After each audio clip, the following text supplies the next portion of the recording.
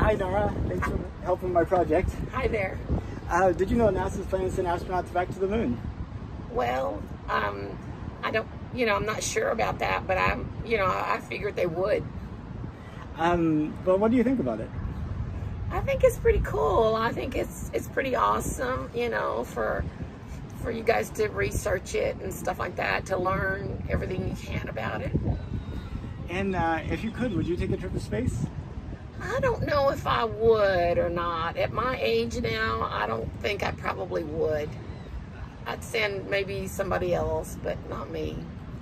Um, but I don't want you to date yourself. But uh, Uh-huh. did you get to see the first time that uh, the astronauts went to the moon? Yeah, yes. Uh, what was that like?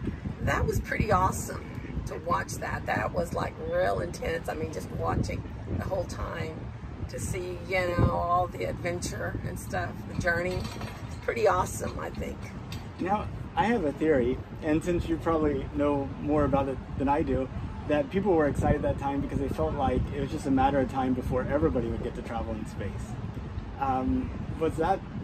Did you have that feeling from back then? That- Not really. Um, no, I don't think so. I didn't have that feeling. Okay. Yeah, yeah. Well, Nora, thank you so much. Really appreciate it. You're so very welcome and you have a good day.